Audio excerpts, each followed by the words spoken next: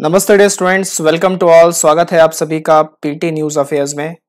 Daily current affairs news analysis आप सभी के सामने है। सेशन नंबर 190 चल रहा है। आज का जो हमारा टॉपिक है, वो टॉपिक है आर्टिकल 244 क्लॉज ए क्या है इस आर्टिकल में जानेंगे। पॉलिटी से रिलेटेड टॉपिक है। Indian polity Indian constitution judgements and cases कुछ थोड़ी जोग्राफिकल पैरामीटर्स पे बातचीत रहेगी। मेंस पेपर की अगर बात करूँ तो जीएस पेपर टू में इसका रेलिवेंट सबसे ज़्यादा रहता है।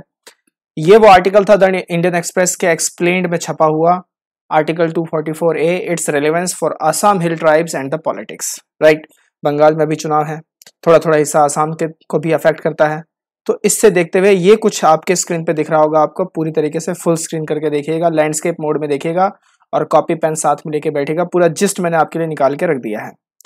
अब एक एक करके सभी बिंदुओं को देखते हैं। हमारा पहला पॉइंट है demand for an autonomous state within Assam has been raised by some section of society in Assam under the provision of Article 244A of the Constitution. तो आर्टिकल 244 के भाग क में, संविधान के ऑटोनॉमस स्टेट की बात की जा रही है, जो असम के अंदर ही बनाया जाएगा। और ये कुछ सोसाइटी वहाँ की जो है वो रेस कर रही है। कौन है ये सोसाइटी क्या है? तो बेसिकली 1950 में ऐसे आवाज़ें उठी थी। उस वक्त का कुछ जो ट्राइबल पीपल के कुछ सेक्शन थे, तब असम अनडिवाइडेड था। मेघालय भी उसमें इंक्लूडेड था और भी बहुत कुछ थे। तो उस वक्त के जो ट्राइबल पीपल के कुछ सेक्शन थे, उन्होंने डिमांड उठाई कि फुल स्टेटहुड हमें दिया जाए ऑटोनोमस रीजन हमें दिया जाए। ऑटोनॉमी एक तरीके की हमें दी जाए। बहुत सारे एजिटेशन और धीरे धीरे मतलब काफ़ी तरीके के विरोध और प्रोटेस्ट के बाद मेघालय को उन्नीस सौ बहत्तर में स्टेटहुड दे दी गई। ये ध्यान रखिएगा। Meghalaya gain his statehood in 1972 अब कौन से ट्राइबल सेक्शन के लोग थे? तो leaders of Karbi Anglong and north Cachar hills वहाँ के मतलब ये जगहों के नाम है। तो कार्बी आंगलोंग के नेता, साथ ही साथ नॉर्थ कैचर हिल्स के जो नेता थे, वो भी इस मूवमेंट का पार्ट थे। बाद में जाके धीरे धीरे 1980 का दशक जब आया तो ये लोग पूरी तरीके से एक इंसर्जेंसी सेपरेटिस्ट ग्रुप बन गए। यानी कार्बी आंगलोंग इन जगहों से। कुछ लोग पूरी तरीके से इंसर्जेंट और पूरी तरीके से सेपरेटिस्ट बन गए, और वो एक ही डिमांड करते थे दिन रात की give us autonomy give us autonomy give us autonomy इस तरीके से। अब इसमें जो धारा, जो अनुच्छेद आर्टिकल 244 का जो भाग का है क्लॉज ए है, वो कहता है it allows for creation of an autonomous state within Assam in certain tribal areas अब ये तो भाई संविधान में ही लिखा गया है तो मतलब वो जो मांग रहे हैं, वो गलत नहीं मांग रहे हैं राइट संविधान में बोला गया है कि आप एक ऑटोनॉमस आसाम के अंदर ही बना सकते हो for some tribal people of areas it also allow creation of local legislature भी आप क्रिएट कर सकते हो। काउंसिल ऑफ़ मिनिस्टर्स भी क्रिएट कर सकते हो या दोनों क्रिएट कर सकते हो। For carrying out the local administration तो वहाँ के जो लोकल एडमिनिस्ट्रेशन को कैरी आउट करना है, उसको लेके भी राइट right? एक मैं लोकल एडमिनिस्ट्रेशन से ना आपको यहाँ पे खतरनाक और कमाल की बात बताता हूँ।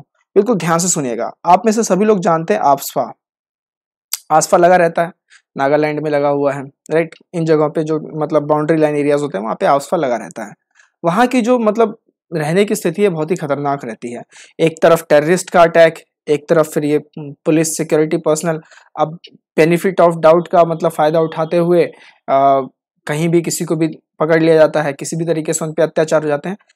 और इसमें ये होता है कि मासूम लोग भी पिसते हैं और जो मतलब जो सही तरीके से जो एक्यूज हैं या जो करने वाले हैं इस तरीके की हिंसा को फैलाने वाले हैं वो लोग भी पकड़े जाते हैं। दोनों तरीके की बातें इसमें रहती हैं।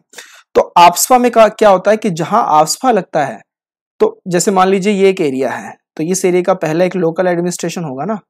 अब आपसफा लग गया आपसफा ने सब कुछ इसमें टेक ओवर कर लिया।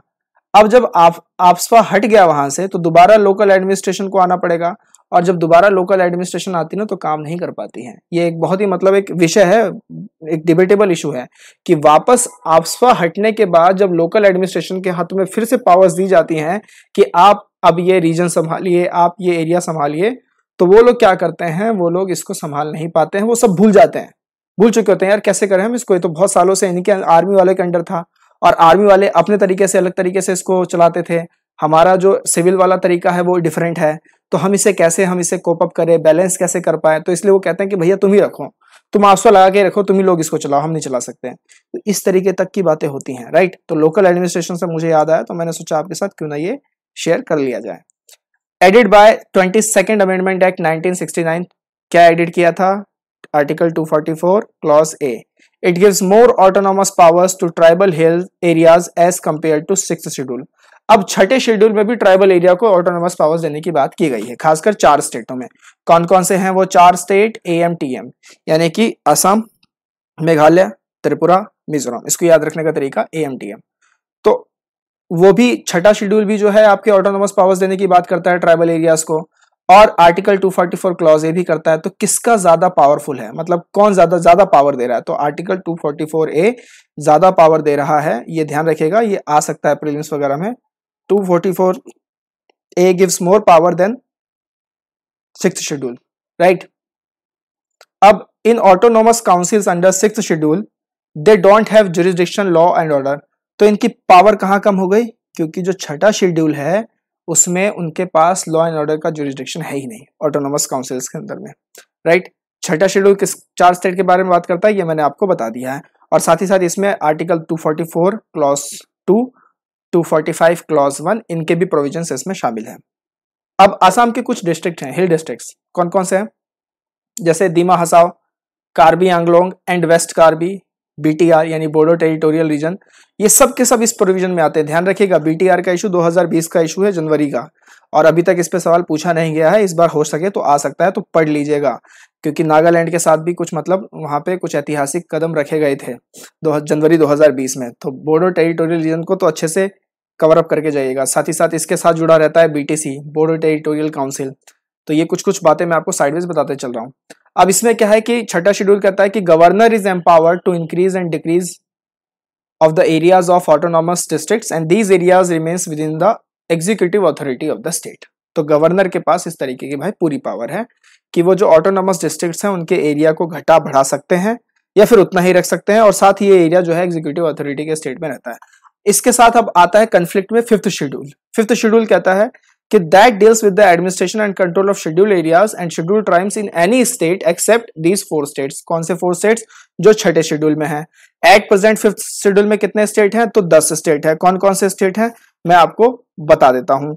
आप पॉइंट आउट करते चलिए। आंध्र प्रदेश है, छत्तीसगढ़ है, जहाँ तक मुझे याद है, गुजरात भी है, हिमाचल प्रदेश भी है, झारखंड भी है आई थिंक एमपी भी है और महाराष्ट्र है, ये तो बिल्कुल है, और साथ ही साथ आपका ओडिशा है इसके बाद आपका राजस्थान है, इसके बाद आपका तेलंगाना है राइट ये सारे जो इलाके हैं, ये सारे जो स्टेट्स हैं, ये फिफ्थ शेड्यूल के अंदर में आते हैं।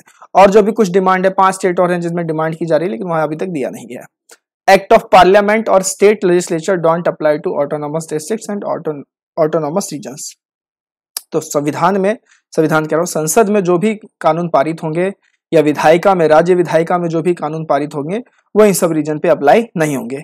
एक और बात मैं आपको लगे हाँ तो यहाँ बता देता हूँ। यहीं पे सही है, यहाँ थोड़ा स्पेस है। तो क्या है कि यहाँ पे जो ऑटोनोमस काउंसिल्स बनाए जाते हैं, इनमें क्या इनकी पावर मतलब सिविल कोर्ट या क्रिमिनल कोर्ट जैसी पावर्स हैं? इनके पास तो बिल्कुल है। इनके पास सिविल कोर्ट वाली भी पावर है और इनके पास क्रिमिनल जुडिशियल पावर्स भी हैं। तो इन काउंसिल में जो ऑटोनोमस काउंसिल्स हैं, इनमें इनके पास जुडिशियल पावर्स भी है। जैसे कि ये लोग विलेज कोर्ट बना सकते हैं। ये इनके पास प्रावधान है। They could establish their own village court और साथ ही साथ अब इनके इनके इसमें जो भी अगर इनको आपने जुडिशियल पावर्स दी हैं तो कि कोई हायर अथॉरिटी होगा जिसके साथ ये कंसर्न करेंगे तो हाई कोर्ट के साथ इनका कंसर्न रहता है। तो ये भी आप ध्यान रखिएगा, ये भी बहुत एक इंपॉर्टेंट फैक्ट है। जो कि आर्टिकल 244 क्लॉज ए में बताया गया है। तो सब मैंने आपको पूरा जिस्ट मैंने आपको एक तरीके से बता दिया, सारे इंपॉर्टेंट पॉइंट्स बता दिए। अगर कोई स्टेटमेंट बनता है एग्ज़ाम में या कहीं पे भी तो वो इन्हीं में से ही बनेगा। तो आप इसको अच्छे से कवर अप करें और अच्छे से सुने। मज़ा आया नहीं आया, ज़रूर बताइएगा। कमेंट थ्रेड में ज़रूर बताइएगा कि आपको सेशन कैसा लगा। बड़ी मेहनत से ये सेशन आपके लिए तैयार किए जाते हैं। बहुत समय जाता है, बहुत मेहनत करनी पड़ती है। तब जाके ये सेशन आपके लिए बना पाते हैं। तो आपका लव एंड सपोर्ट ही हमारे लिए मोटिवेशन है। सेशन को लाइक ज़रूर करें शेयर करें पॉजिटिव पॉजिटिव कमेंट्स करें, अपने दोस्तों को भी बताएँ किस तरीके के सेशंस यहाँ पे अवेलेबल हैं। आइए, अपने फैक्ट पे हम आज बात करते हैं। आज का जो हमारा फैक्ट है कि एक नया इंडेक्स आया है फॉरकास्टिंग ग्रुप में wind pattern and ventilation index forecast sir, ये कैसा इंडेक्स है? अरे भाई, अब यही इंडेक्स है। अब ऐसे इंडेक्स आ रहे हैं, क्या करें? This index published by ministry of earth and sciences तो ये ministry of earth and sciences का पब्लिश किया हुआ इंडेक्स है।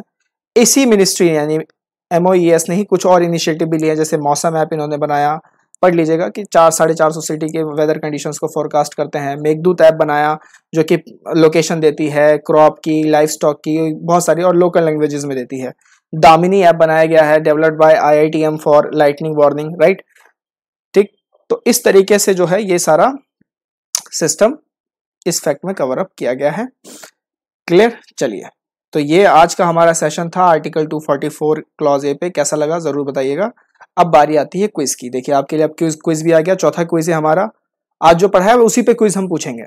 Consider the following statements article 244 clause A allows for creation of autonomous states within the Assam only क्या ये सिर्फ़ और सिर्फ़ आसाम के लिए ही एप्लीकेबल है? दूसरा tribal people in the state of Kerala and Tamil Nadu are under the fifth schedule of the constitution तो जो ट्राइबल पीपल हैं केरला के, तमिलनाडु के, वो फिफ्थ शेड्यूल में आते हैं। कौन सा स्टेटमेंट सही है, ये आपको जवाब देना है। क्या पहला सही है, या दूसरा सही है, या पहला गलत है, दूसरा सही है? दोनों सही है, दोनों में से कोई भी सही नहीं है। चार स्टेट चार ऑप्शन आपके पास हैं। समय बिताइए, पढ़िए ध्यान से, अपना आंसर को लॉक कीजिए कमेंट में बताइए कि क्या आपका आंसर है। फटाफट फटाफट फास्ट फास्ट आंसर अभी आपको, अभी देंगे हम। थोड़ा समय दे रहे हैं आपको, ताकि आप इनको अच्छे से पढ़कर अपना आंसर लॉक कर सकें। रेडी आंसर देखें, क्या है इसका answer so it's correct answer is option A पहला ऑप्शन ही बिल्कुल सही है कि आर्टिकल दो का जो क्लॉज ए है autonomous state within the Assam only के लिए ही दिया जाता है। खासकर ध्यान रखिएगा, ऐसे वर्ड्स पे थोड़े सा कंफ्यूजन रहता है। दूसरा ट्राइबल पीपल जो मैंने टेन स्टेट्स आपको नाम बताया, उसमें ना तो केरल है, ना ही तमिलनाडु है तो ये स्टेट है ही नहीं, ये डिमांड कर रहे हैं। मैंने आपको बताया ना, पाँच स्टेट डिमांड कर रहे हैं, तीन, दो तो यही है। ये डिमांड कर रहे हैं कि फिफ्थ शेड्यूल में हमें डाला जाए, लेकिन इनको नहीं डाला गया अभी तक। राइट तो ये ऑप्शन हो जाता है, ये स्टेटमेंट हो जाता है गलत, दूसरा गलत होते ये दोनों गलत हो जाएँगे। तो अब आपको चुनाव करना होगा ए और डी में and the correct answer is option A here clear है? चलिए। इकोनॉमी क्रैकर का शानदार कोर्स आठ मई से शुरू हो रहा है। आइए अपने आप को एनरोल कीजिए, करके दिखाएँगे कि स्पिरिट रखिए। चार बड़े फुल कोर्सेज हैं छह महीने की वैलिडिटी के साथ। For any problem just call us on this number PT के सब्सक्रिप्शन कोर्सेज भी ऑन है। यूट्यूब से भी डायरेक्ट कनेक्ट कर सकते हैं वेबसाइट से भी कनेक्ट कर सकते हैं। एक महीने के लिए, छह महीने के लिए सबके लिए अवेलेबल है। एनरिच कंटेंट है रेगुलर स्टडी है और एक्सीलेंट पेयर ग्रुप है। करंट अफेयर्स की एनुअल कंपाइलेशन आ चुकी है। बुक स्टोर पे रिवीजन टाइम हाई हो चुका है।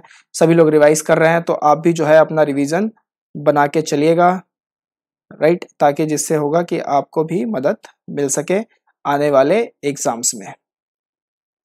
इसी तरीके से हम मिलते रहेंगे, बढ़ते रहेंगे। अगर आपको हमारा ये एफर्ट सब कुछ पसंद आ रहा है तो आप हमें इस दिए हुए लिंक पर कंट्रीब्यूट कर सकते हैं। Useful current affair content regular updated है, जाइए, पढ़िए। और आप में से जितने छात्र लोग छात्र और छात्राएँ सिविल सर्विसेज़ की तैयारी करने की सोच रहे हैं तो पीटी गुरुकुल के कोर्सेज पे विज़िट ज़रूर कीजिएगा।